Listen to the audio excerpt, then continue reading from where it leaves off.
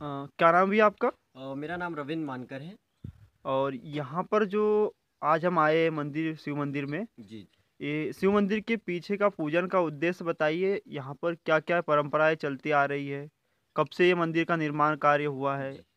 और और कुछ जो सम- हमारे गाँव का ये बहुत ही प्राचीन मंदिर है और सदियों से इसकी यहाँ पूजा पाठ होती रही क्योंकि जब बुज़ुर्ग लोग थे वो करते थे उनके बाद उनकी पीढ़ी दर पीढ़ी पूजा पाठ होती आ रही।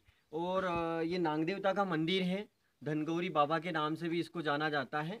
और यहाँ गाँव के लोग जितने भी श्रद्धा आस्था रखने वाले लोग हैं, और आसपास के भी जो गुनखेड़ हैं और मांडवी के भी बहुत सारे श्रद्धालु बंधु यहाँ पूजा पाठ करने के लिए आते हैं। और नाग पंचमी और कई और हिंदू पर्व पर्व हैं जो अपने यहाँ के जो अपन हिंदू धर्म प्रेम मानते हैं तो यहाँ लोग आते हैं। और यहाँ अपने आस्था विश्वास के साथ अर्जी लगाते हैं और बहुत सारे लोगों की मनोकामना पूर्ण होती है। और यहाँ भजन संध्या का भी प्रोग्राम चलते रहता है।